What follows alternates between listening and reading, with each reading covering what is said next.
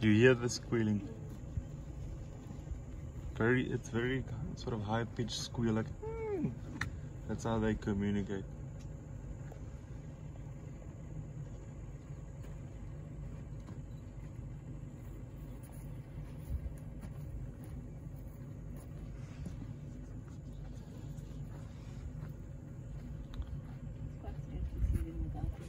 It's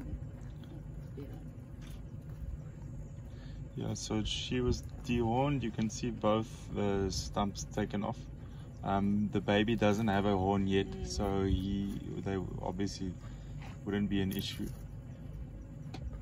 But It doesn't affect them. I mean, they don't use the horn they do the males with fighting. Mm. Um, so it does give them a bit of a disadvantage, but essentially, if all the rhinos in the reserve are dehorned,